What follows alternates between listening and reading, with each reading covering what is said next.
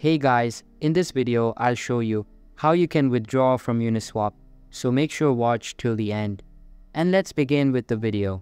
The first thing that you guys need to understand is that you can't actually withdraw any type of cryptocurrency from Uniswap.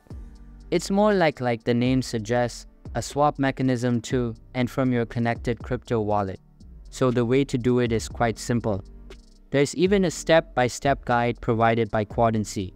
So the first thing you need to do is to make sure that your Web3 wallet is connected to your Uniswap account. And it's actually quite simple to do. All you guys have to do is sign up for an account and click on connect button at the top right corner. And then you basically input the corresponding details tied to your Web3 wallet. Now, the next thing that you guys need to do is to go to the Uniswap page where I'm at right now. So once you guys find yourselves here, what you want to do is, you want to make sure that you're logged in and your wallets are connected. And then you want to click on pools. So once you click on pools, normally what would be shown here are your connected crypto wallets or the cryptocurrencies and wallets tied to your account.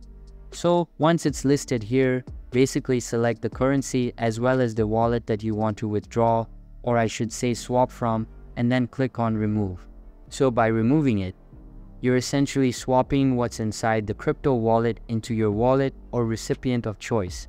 So what we're doing here is basically swapping or withdrawing liquidity from Uniswap. So once you have all of that in order and you've selected which pool you would want to withdraw from, now simply input your wallet details that you want to transfer it to and click on remove. And this will effectively transfer what's inside into the corresponding crypto wallet. In fact, it even says here that on your first time doing this, it'll ask for an authentication through your Web3. So it reads the first time you're withdrawing from a pool then, you will be requested to approve the transaction via your Web3 wallet.